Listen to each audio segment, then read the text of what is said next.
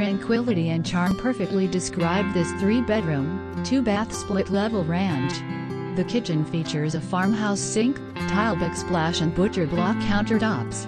Wander out onto your back deck that overlooks a spacious backyard oasis shaded by mature trees.